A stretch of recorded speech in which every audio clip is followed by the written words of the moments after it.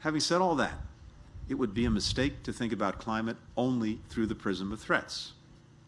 Here's why. Every country on the planet has to do two things reduce emissions and prepare for the unavoidable impacts of climate change. American innovation and industry can be at the forefront of both. This is what President Biden means when he says, and I quote, when I think of climate change, I think jobs, end quote. To give you a sense of scale, consider that by 2040, the world will face a $4.6 trillion infrastructure gap. The United States has a big stake in how that infrastructure is built. Not only whether it creates opportunities for American workers and businesses, but also whether it's green and sustainable and done in a way that's transparent, respects workers' rights, gives the local population a say, and doesn't mire developing countries and communities in debt. That's an opportunity for us. Or consider the massive investments countries are making in clean energy. Renewables are now the cheapest source of bulk electricity in countries that contain two-thirds of the world's population.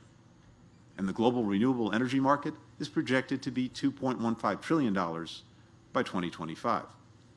That's over 35 times the size of the current market for renewables in the United States. Already, solar and wind technicians are among the fastest growing jobs in America. It's difficult to imagine the United States winning the long-term strategic competition with China if we cannot lead the renewable energy revolution.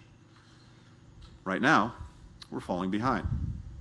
China is the largest producer and exporter of solar panels, wind turbines, batteries, electric vehicles. It holds nearly a third of the world's renewable energy patents. If we don't catch up, America will miss the chance to shape the world's climate future in a way that reflects our interests and values, and we'll lose out on countless jobs for the American people. Now, let me be clear. Goal number one of our climate policy is preventing catastrophe. We're rooting for every country, business, and community to get better at cutting emissions and building resilience. But that doesn't mean we don't have a stake in America developing these innovations and exporting them to the world. And it doesn't mean we, we don't want to shape the way countries reduce their emissions and adapt to climate change. So how can we do that?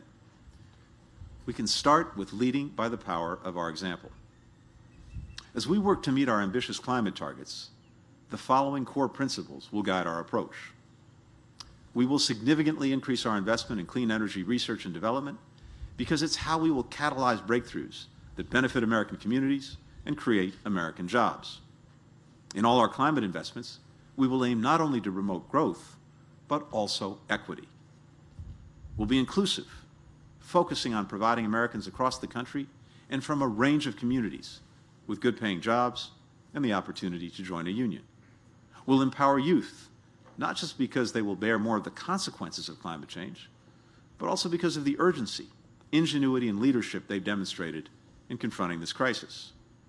We will enlist state, states, cities, businesses, large and small, civil society, and other coalitions as partners and models.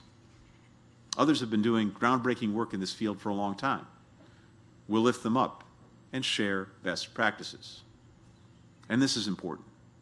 We will be mindful that for all the opportunities offered by the unavoidable shift to clean energy, not every American worker will win out in the near term. Some livelihoods and communities that relied on old industries will be hit hard. We won't leave those Americans behind. We'll provide our fellow Americans with pathways to new sustainable livelihoods, and support as they navigate this transition. Right after taking office, President Biden created the Interagency Working Group on Coal and Power Plant Communities and Economic Revitalization.